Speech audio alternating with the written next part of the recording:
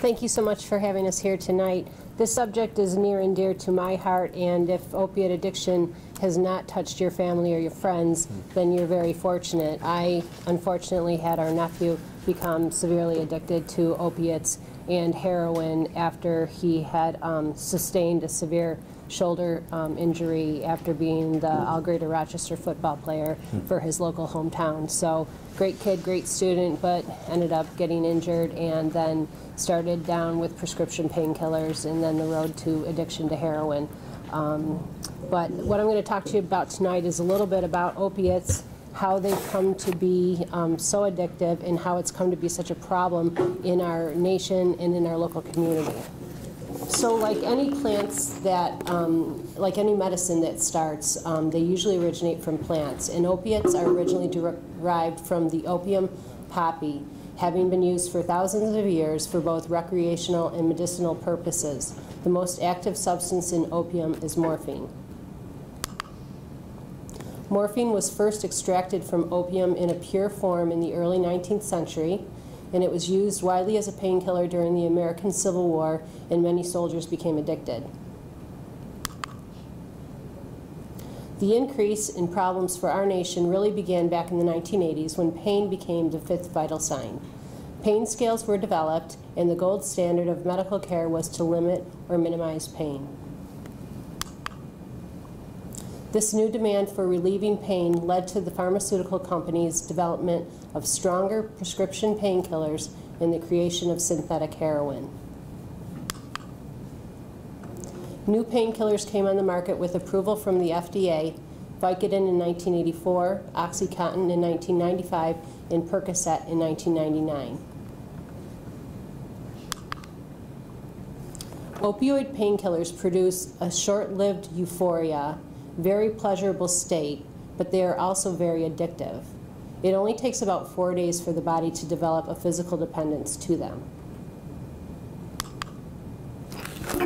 Once a physical dependence happens and opiates are not available, the symptoms of withdrawal will occur. This can include severe restlessness, agitation, muscle and bone pain, insomnia, diarrhea and vomiting, and just a general feeling of misery.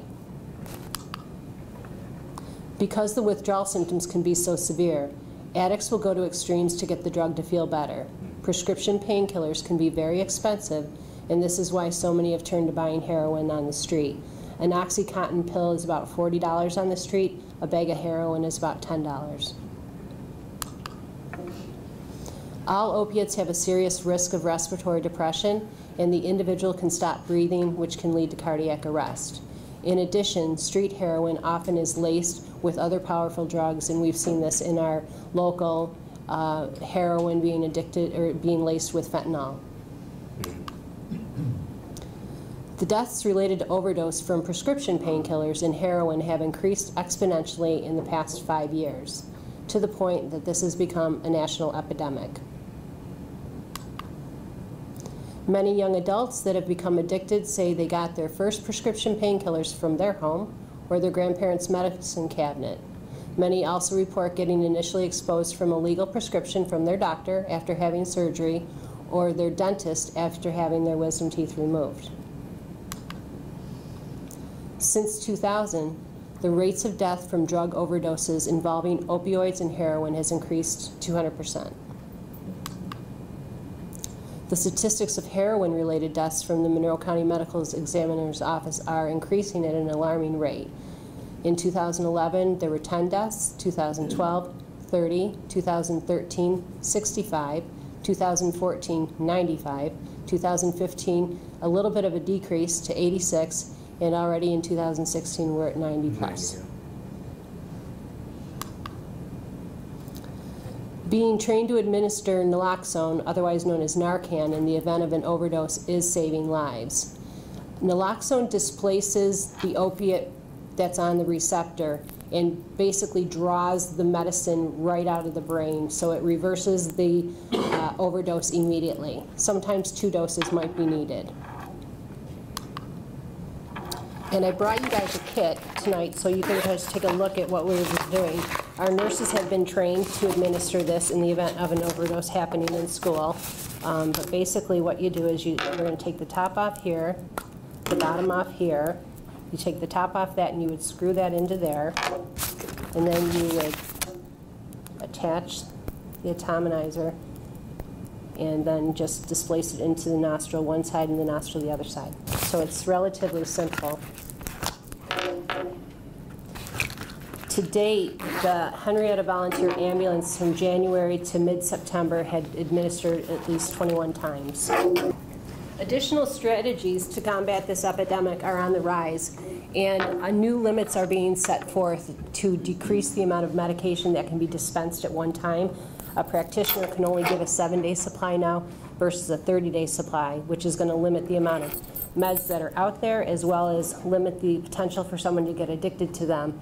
And then beginning in 2017, the FDA is going to reduce the amount that they're actually producing by 25%. So less meds out there, hopefully less people will get addicted. Does anybody have any questions? Yes, sure. Why do they lace the, the heroin with other drugs? Is that like a sale feature, or is it, why- why do they? They, they might very well do that to say it's stronger, so buy it from me versus, you know, somebody down the street, my stuff is more potent. But because they don't know what it's laced with, it can be deadly. And some of the kids will find uh, heroin puts them to sleep, so it's a, it brings them down, and sometimes will counteract with a stimulant drug, so they kind of get this perfect high between cocaine and heroin right in the middle, where they say if I just use cocaine, I get too nervous and too anxious, but if I just use cocaine, uh, heroin, I fall asleep. So they find that middle place, and that's dangerous. You know, yeah. Mm. Sure, you talked about the trends within the county or the nation and the county. What about Rush-Henrietta? Do you see any of this going on right now? Well, that's where Paul's going to come in. He's going to start talking about some of our kids and, and the surveys that they've done, as well as um, their their um, comments on what they're being exposed to and what prevention um, strategies that Paul's doing with the teens. Just, just a quick question. Um, You mentioned uh, how often the um, naloxone, pardon me, has been used by the Henrietta ambulance. Has it been used by any of our nurses, and to what extent? No, we have not eh, needed to administer that. So in the event that we would, we would need to report that to the state. Yes. Curious if there are comparable rates of usage for any other narcotics? I'm sorry? I said, I'm curious if there are comparable rates of usage for any other narcotics, so uh, cocaine, crack, anything else? If there's anything that's, Um, I'm not, I'm sorry, I'm not understanding your question. um, so uh, you mentioned that there's been a significant uptick in the usage for opiates and particularly of heroin. Mm. Um, And I'm just curious whether we've seen any corresponding usage increases or, or if there's just, you know, if they've been kind of relatively flat, but they're, they've been high usage for cocaine or any other drugs, any other form of Yeah, drugs. I think mostly the pain, the prescription painkillers and heroin kind of go at a steady rate comparatively. Um, I mean, I don't think that the cocaine and the marijuana have the trends quite like how they've gone up exponentially. Uh, We did have um, a couple kids last year who I talked to who were using cocaine. A lot of it's uh, who they're hanging around, so if they're buying from their marijuana dealer and they have cocaine available, they use that.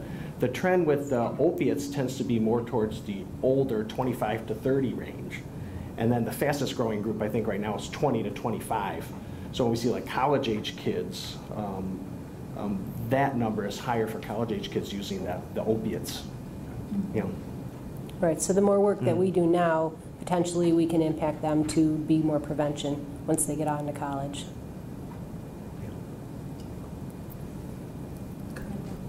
Okay. Um, My, my thought putting this together when we talk about our kids, um, you know, is what is the main reason kids would use drugs? You know, a lot of people say to kids, why are you doing that? Why are you doing this? But even kids who would inhale things that have like the skull and crossbones on it, you know, what are you doing? And I think the answer to that is it makes you feel good. Kids like to feel good. And that's why they use. This, I saw this picture and I thought that's, he's not getting stoned right now, but if he was, that's probably kind of the look he would have on his face, you know.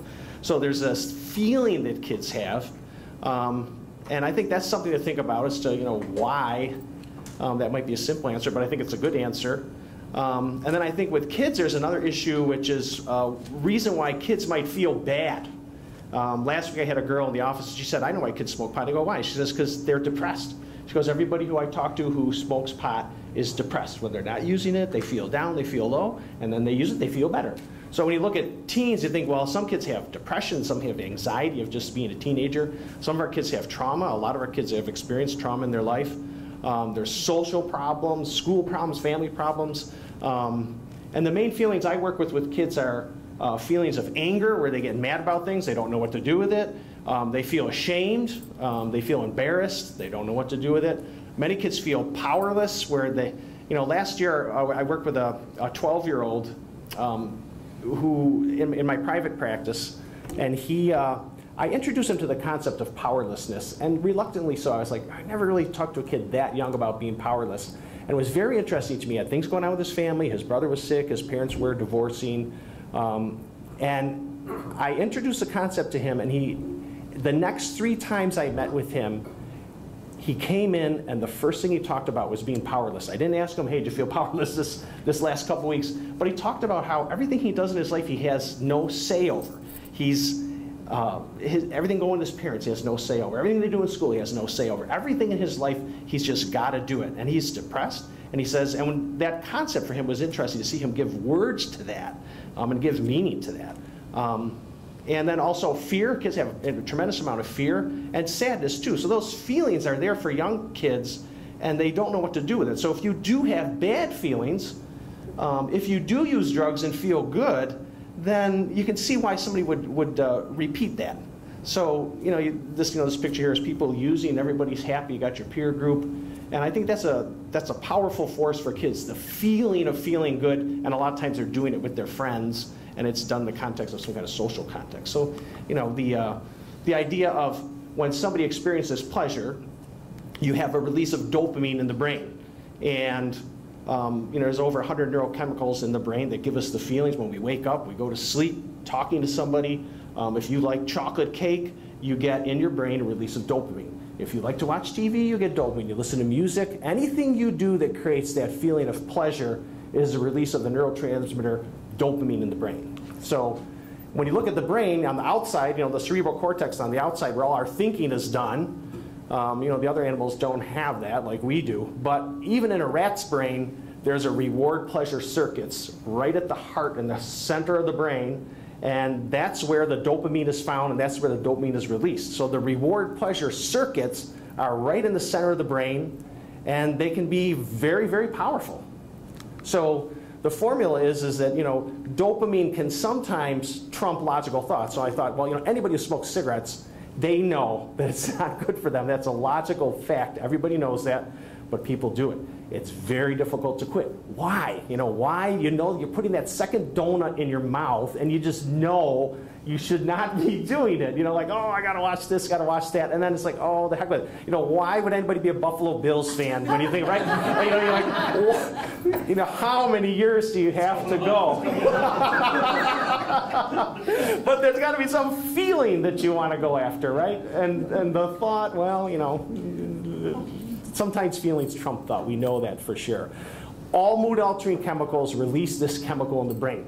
And that's why kids don't go trick or treating for broccoli. You know, or if you were to give the pencils out to the kids, you're a dummy because they don't want the pencils, they want candy because that feels good. There's nothing in broccoli that releases dopamine in the reward neural pathways in the brain. So uh, every drug, whether it's cigarette smoking or whether heroin or uh, marijuana, alcohol, all the drugs that kids use, um, that you get that release in the brain. That's what makes them feel good. Um, one girl I talked to a couple of years ago, she uh, used heroin, and she said the first time I used it, she goes, I was afraid of it, and it really, it just was not a good experience for me. Just the second time I was more comfortable, and she said, I, and you know, it's 18 year old kid, she said, I knew when I had it the second time that if I had it a third time, I would never stop. And she used it a third, she never stopped. And that gives some idea, I think. You don't hear that with other, you don't hear that with alcohol, you don't hear with uh, other drugs as much, but with the opiate drugs, you do hear that, where it just takes a few times. And this is when we see kids, you know, how can a kid be addicted when they start off using painkillers for uh, wisdom teeth pulled or, you know, surgery? It's a very, it's a real danger that people are given those drugs, they use them, and then that can create that feeling and the formula here is the more dopamine you get, the stronger the urge to repeat. So if you really had a good meal someplace, that's why you want to go back again. If you really had a great conversation with a friend, that's why you want to go back and do, oh, let's get together again. That's why we want to do things again. So the brain registers, oh, that was pleasurable, and I really enjoyed surfing. Oh, let's go again. I want to do it again. You know, some golfers, you know, they torture themselves, but there's always that shot from a golfer's frown, right? Where it's like, oh, that was so great, and you feel that pleasure, and then you want to try it again. So when we think about that for kids, the more pleasure they get from something, they're very susceptible to repeats, to re redoing again. So drugs can hijack the system and then dominate the brain functioning in the brain. And that's where we see addiction, where uh, the drug takes over. That neural pathway in the feeling part of the brain trumps logic. And we all have some sense of that, you know. Um, for the past uh, 15 years, I've been teaching classes on drugs and addiction, drugs and society. And I always ask my students, write a paper about something that you have a loss of control over, something that you know isn't good for you, but you're doing it anyway. I have never had a student in the last 15 years tell me, I can't do this paper. You know, everybody's got that experience with it. So it's not that there's the drug addicts over here and the non-drug addicts over here. The human brain is the same. Drugs, though, hijack the system. And this is the danger for young people. The system can get hijacked and then they lose control. It's not in charge of them anymore. So that would be addiction. Um, with the recent findings that I uh, have here tonight, we have some national statistics. Um, we have Monroe County um, Youth Risk Survey, which is done every two years. We do that here in the school, um, and many of the schools around the county do that. Um, and then um, we did a student survey with groups of students in health class and study hall. We did like a, a town hall type meetings with the kids to see what they say. This was a, uh, a little chart that said, you know, the top drugs being used among eighth graders nationally and 12th graders on the right. Um, marijuana was the tops for both of those, and I think that's very true. Marijuana is a real issue. Um, for the younger kids, it was inhalants, and a lot of times um, they get that for free or they find that around the house. And then synthetic marijuana, cough medicine was number four, and I think that's interesting because kids can buy that, they can get it from home, they can use that, it's called robotripping, you just drink some um, cough medicine and you're kind of get like a hallucinogen type high if you can drink enough of it. So um, I'm not recommending that you try it, but it does happen and kids do use that. Um, and then for the older kids, Adderall, and you see synthetic marijuana, then Vicodin, tranquilizers, cough medicine at 4%. So um, this particular chart left out alcohol, and you always see these numbers, alcohol use in the past 30 days. Those are the studies that are done across the country in the um, Monroe County surveys. Did you use alcohol in the last 30 days? And that gives a rough number of, you know, are you maybe using on a regular basis? And alcohol, as far as I'm concerned, is a real major problem around the county, across the country. Here we see, um, you know, 21% of 10th graders saying they've used in the last 30 days, 35% of 12th graders. Nationally, in Monroe County, you see around the same thing, around 30%. Our seniors were, uh, the senior high was 24%, um, NGA was around 13%, and Rothenberger at 5%. So you see that alcohol use going up throughout high school. Um, so those were our numbers. Um, and then the, the trend here is good. This was um, from the uh, Monroe County Youth at Risk Survey. When you look at 2005 to 2015, you see in that 10-year slice, you see the numbers go down. In particular, that red dot, um, that red line is the last use in the last 30 days. That's kind of like the thing used. And you see that numbers are going down. And I think that's very good. I think that's a part of our prevention efforts. Um, and I think you can see that happen. Think you see that continue to go that way. Um, now, what do the Rush Henrietta students say about alcohol? I got um, a, a, survey. I met with the kids in their health classes, and I gave them a very simple survey. Um, alcohol, I would say. And you could say, I don't, I don't know anything about that, so they could check that. And then they could say, well, it's not happening here in school. And I wasn't asking individuals, do you use? I was just asking kids, do you think it's a problem here? So do you think it's happening? Um, that would be the third answer. It's happening, but it's not a problem, which is an interesting question for kids to respond to. Oh, you know, kids are smoking pot, but it's not a problem. And then the fourth one was, it's a problem. And then the last one is, it's a very serious problem. The one thing I saw from these surveys I did, a very quick survey, it does not take them very long to do. There was only one sheet that I had that had all the answers the same, like they just kind of went, you know, threw it out. So I took that one, I threw it out. But every one of them you could see, the kids were thinking, and there was variety on their answer sheets. So um, I asked our kids drinking during the school day, and you know, 70%, uh, and the blue line is uh, the ninth grade and 10th graders, and then you've got the 11th and 12th graders, and those are two different sets of brains um, when you look at a senior in high school compared to an eighth grader or ninth grader, you know. Um, and the answers were very different. But this one was, you know, most of the kids, 70% of the kids are saying it's, it's just not happening. Um, and I think kids are smart. I think they know if they come to school and they're using drugs, I think they know that they can get in trouble for that. Um, so I think in their minds they say, oh, I'll just push up. If a kid is using in school, that's a sign to us. Why do you have to use in school? Do you, you know, do you have a, an addiction problem that you have to use? Um, we see some kids vaping in the bathroom sometimes. They're addicted to nicotine. They got to get that nicotine fixed. They can't go the day without it. Um, but with the alcohol, you know, we see our kids are saying, no, that's not a problem. Uh, with kids drinking and driving, um, you know, see the red line there with the, uh, the seniors there saying it's problematic. You know, that's, and they're the ones who are doing the driving. Um, and then you see the, uh, the older, um, that one line saying not happening.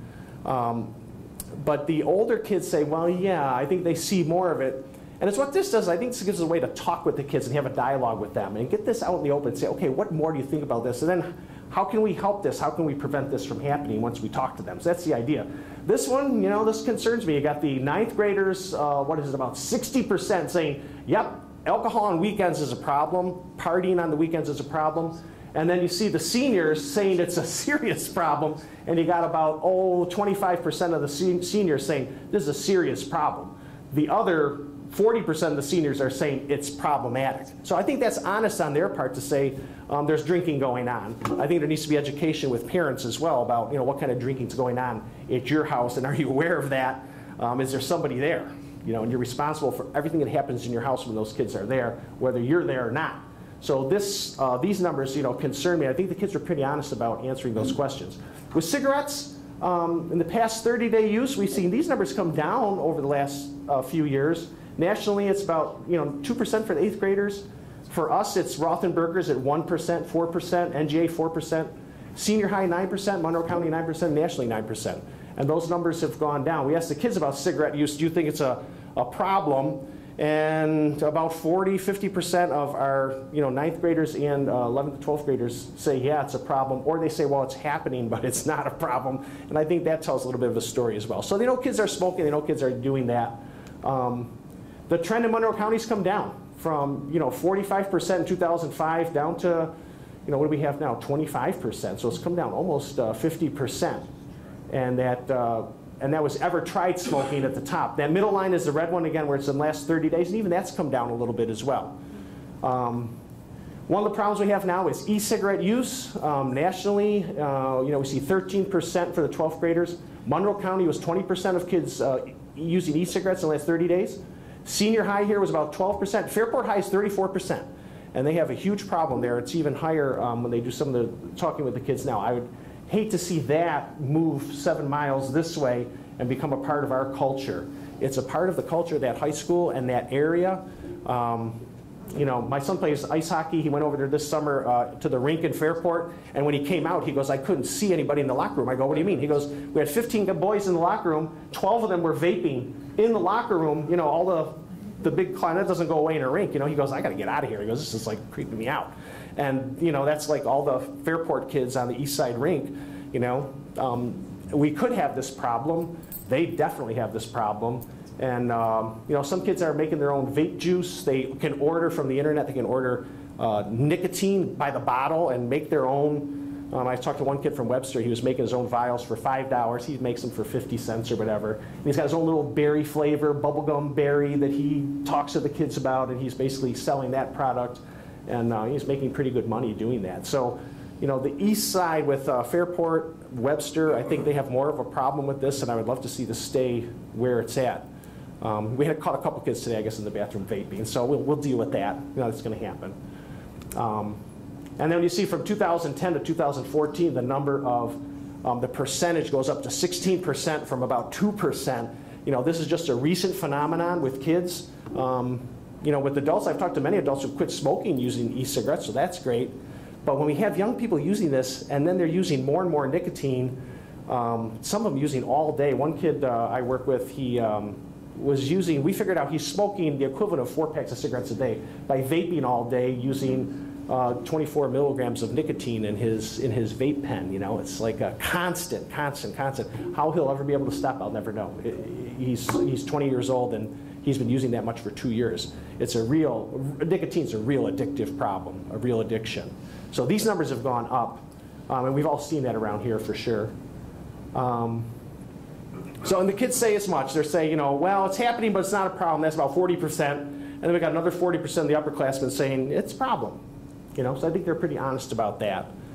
Um, pot use in the last 30 days nationally for 12th graders is 21%. Monroe County's 22%. Our senior high uh, tested out 17%. NJ was 11%, and Rothenberger were very low. So again, you see that, um, you know, middle school, ninth grade, 12th grade, the numbers go up, you know. Um, although the Monroe County trend, when you see from 2005 to 2015, has kind of pretty much stayed the same. Um, it come down slightly. Um, but my uh, talking with the kids and hearing what's going on, I, I, I think that number, it's, it's larger than maybe what they've gotten in that study. You know what I'm saying? Yeah. um, and then here's our, you know, our kids are telling us as much. They're saying, uh, and this one concerns me where it says, you know, we've got 40% of the seniors saying, well, it's happening, but it's not a problem, okay?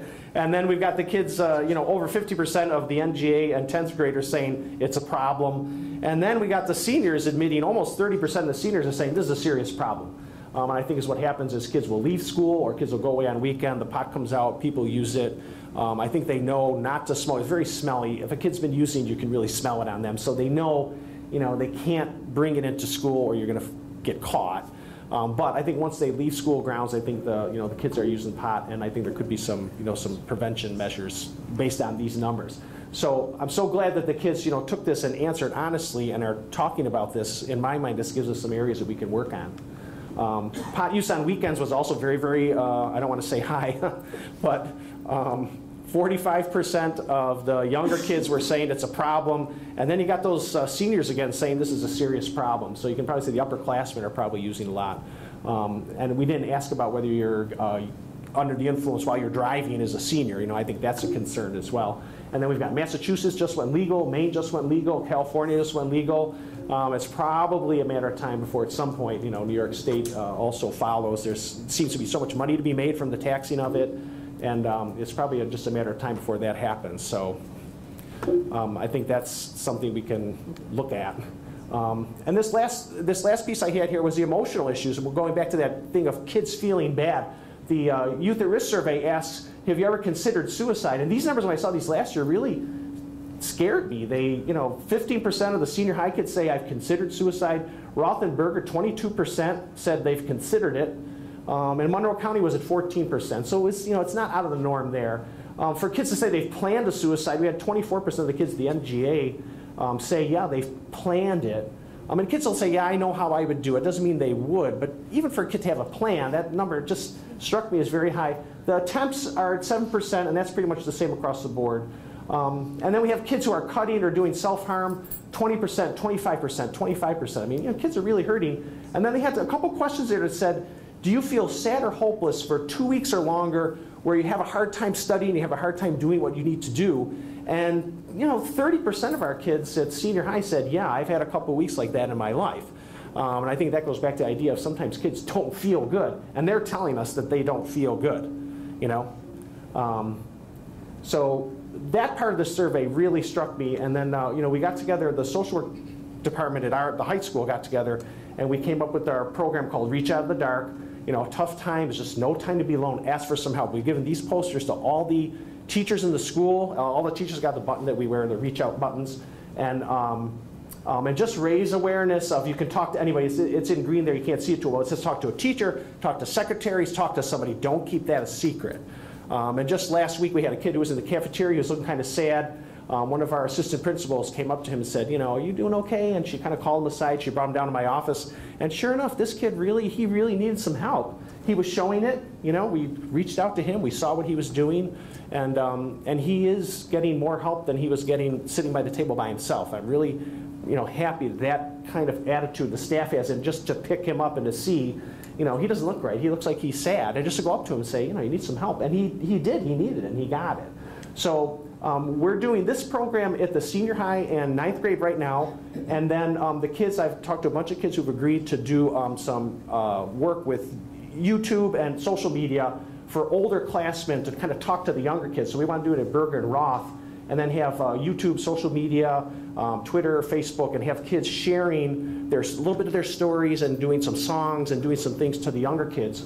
So we would have the, the older kids in the school reaching out to younger brothers and sisters, so to speak. And I think that's a great idea. Kids are all for it. I've got kids who are working on songs, working on poems, working on their testimonies, and we'll just kind of video it and then we'll put it up and we'll have that. So I feel really good about this program, kind of addressing those issues with the suicide, you know. Um, some of the other responses here. Um, this was one thing that we did last year. We had the civics classes get together and talk about the opiate addiction problem. And I'd like to play this for you. Is- Are we okay on time? Okay. um, and they put together this uh, video.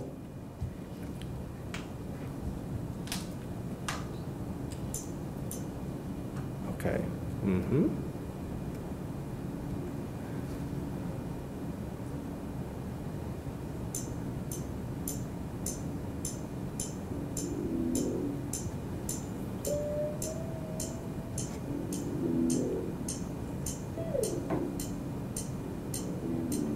The Sheriff's Department and the Coalition on uh, Drug Prevention and Safety.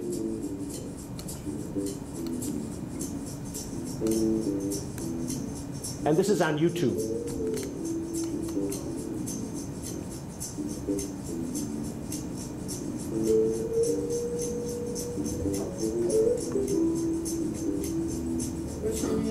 We have a problem.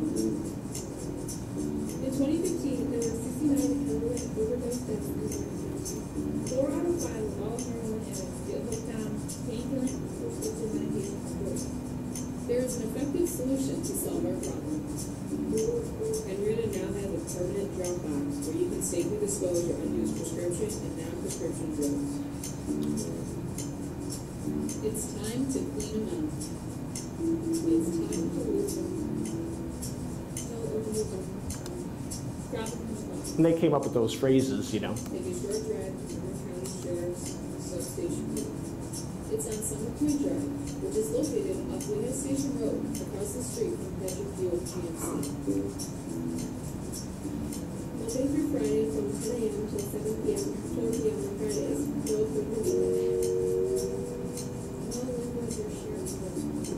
no. No, sharps.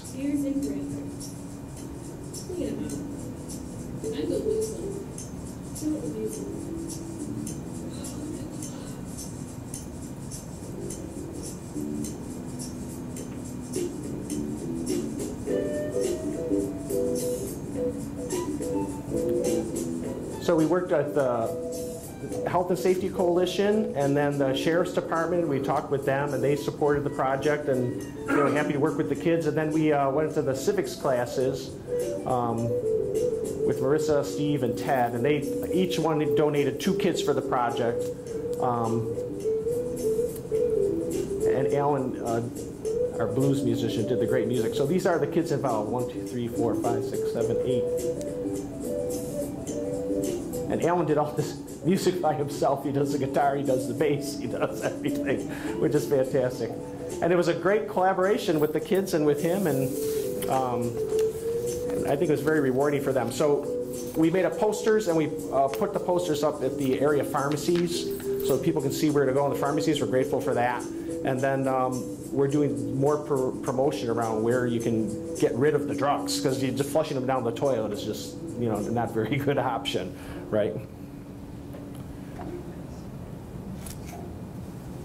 Um, so here's our the Health and Safety Coalition. Um, when I come on last year, we didn't have any kids on board. Now we've got three kids who are um, donating their time every month. They come in and um, we're right now the kids are looking at these numbers with the, the survey from the kids. So alcohol use and pot use are really um, want there to be the focus. Um, you know, my thought is when kids are showing signs of the drug use, they're telling us they need some help with something. Um, so, you know, my attitude with the kids here has not been to catch kids using drugs. It's as much to engage with kids and connect with kids. Um, so if somebody does get um, on the radar with showing some signs, we have the care team. The care teams meet every two weeks at NGA and at the high school. We'll discuss kids, uh, teachers might see somebody who's showing signs. We'll talk about um, coming up with an action plan for them.